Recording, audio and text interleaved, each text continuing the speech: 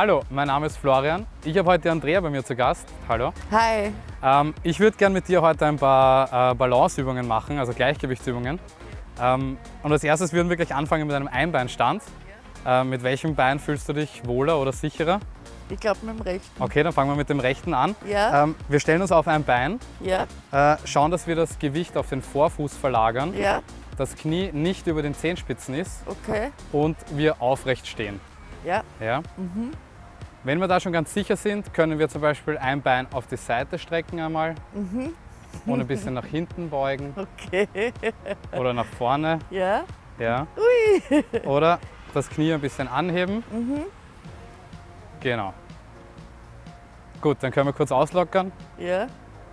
und Schaut wir so- stellen uns auf das Schaut noch andere nicht Bein. gleich, gell? Und ist da Ja, nein. nicht ganz so einfach, ja? Genau, jetzt Gut. das andere Bein. Ja, Wieder schön aufrechter Stand. mhm, Das Knie anheben. mhm, Gleich mal ein bisschen zurückstrecken, das Bein. mhm, Auf die Seite. mhm.